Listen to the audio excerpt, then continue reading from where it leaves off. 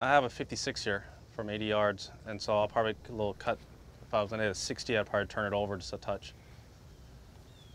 If I would hit something kind of dead armed, not a lot of spin to it.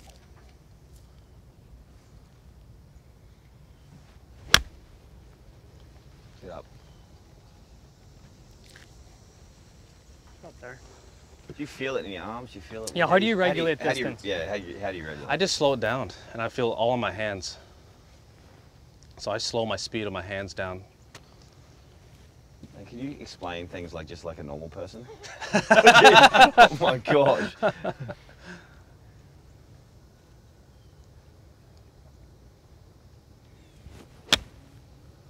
Rory, Oh, no fade. get up. Pretty Shot. good, Yeah. man. Well done, dude. What do you, you. how do you control spin?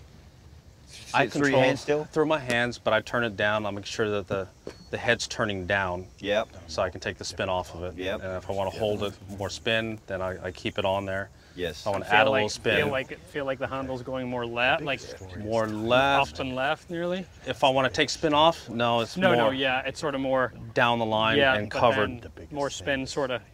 More that way a left, little bit. exactly. A little Yeah. tighter, more left, Yeah, and lengthen out just a little bit to add Yeah. a little bit of speed there. yeah.